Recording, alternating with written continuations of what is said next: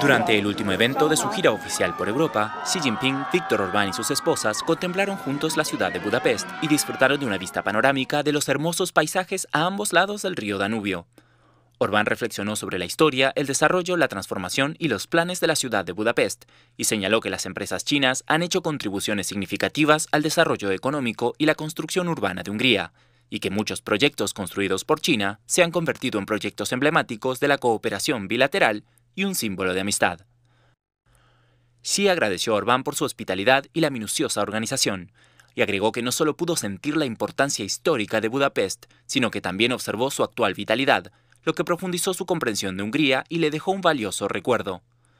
Xi mencionó que está profundamente impresionado por el desarrollo y los logros de Hungría en los últimos 15 años, y añadió que los intercambios y la cooperación entre los dos países han contribuido a la reforma y apertura de China.